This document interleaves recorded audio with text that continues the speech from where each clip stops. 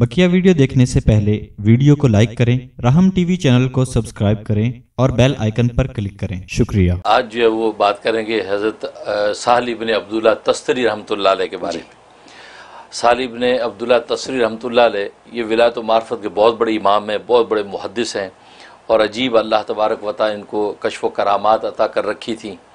اور یہ عام طور پہ کسی طلبہ کے مدرسے میں آتے تھے تو مدرسے کے طلباء کو کہتے تھے کہ یا اہل علم ادو زکوٰۃ العلم۔ اے طلباء طلباء علم تم جو ہے علم کی زکوٰۃ ادا کرو۔ اچھا۔ تو وہ کہتے تھے کہ حضرت علم کی زکوٰۃ کا کیا مطلب ہے؟ کہتے علم کی زکوٰۃ کا مطلب یہ ہے کہ اگر سو حدیثیں تم پڑھو اس میں کم سے کم ایک حدیث پہ عمل کر لیا کرو۔ جی۔ ہاں؟ تو سو میں سے ایک حدیث پہ عمل کر لیا کرو گے تو گویا کہ علم کی زکوٰۃ ادا ہو جائے گی۔ تو یہ ان کو اللہ نے مقام عطا کر رکھا تھا۔ تو ان کی ایک بہن تھی بہن کا کہ بیٹا تھا۔ اور بیٹا کون ہے؟ یہ جنید بغدادی۔ اچھا۔ یعنی جنید بغدادی کے ماموں ہیں۔ جی جی۔ سالی ابن عبداللہ تستری۔ جی۔ تو ایک مرتبہ وہ بہن آئیں۔ تو انہوں نے ماموں سے کہا جنید بغدادی کے ماموں سے کہا کہ یہ بھانجے کو اپنے پاس کچھ دن رکھو جی۔ اور کبھی کبھی اللہ اللہ سکھا دیا کرو اس کو۔ اس وقت جنید بغدادی کی عمر سات سال تھی۔ اب یہ ماموں نے اپنے پاس رکھ لیا ہوا مدرسے اور خانقاہ میں۔ اب وہ جو ہے بتا دی سات سال کی عمر سے ان کے ساتھ تاجد پڑھتے، لا الہ اللہ کے ذکر کرتے، تو ان کے ساتھ صبح شام یہ ذکر و اذکار میں لگ گئے۔ تو ایک مرتبہ یہ کہ کھانا کھا رہے تھے، تو عین اس وقت میں جو وہ بہن آ گئیں ملنے کے لیے۔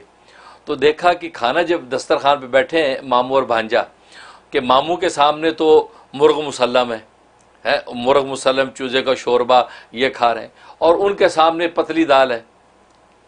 اب وہ بہن نے جب دیکھا تو کہا کہ بھائی جان بڑا افسوس ہوا۔ آپ اپنے بھانجے کو یہ کیا کھلا رہے ہیں؟ جی۔ اور آپ خود دیکھ کے کیا کھا رہے ہیں؟ اچھا۔ ہاں، جیسے بہنیں کہہ دیتی ہیں۔ جی، جی۔ تو یہ بات کہی۔ تو یہ جیسے یہ کہا تو حضرت نے جو وہ مرغ کھایا ہوا تھا اس کی ہڈیاں اکٹھی کی اور اکٹھی کر کے فرمایا قوم بھی اذن اللہ۔ ان ہڈیوں کو کھڑی ہو جائے اللہ کے حکم سے۔ وہ زندہ مرغ کھڑا ہو گیا اور کھڑا ہو کے اذان دینے لگا۔ اچھا۔ یہ نظارہ بہن نے دیکھا ہے یہ کیا؟ تو بہن سے کہا بہن جب یہ تیرا بیٹا اس مقام پہ پہنچ جائے گا تو یہ مرغ مسلم کھائے گا۔ اچھا۔ ابھی اس کو دال کھانے دو جی۔ کیونکہ ابھی تربیت کے پراس ہی چل رہے ہیں۔ تو یہ ہوتی ہے کہ بزرگوں کے پاس جب اولادوں کو چھوڑا جائے اور وہ جس طریقے سے لے کے چلیں تو پھر ماں باپ کو آنکھیں بند کر لینی چاہیے کیونکہ ان کو پتہ ہے پراسیس وہی جانتے ہیں ہاں۔ کہ تربیت کے کیا پروسیس ہیں۔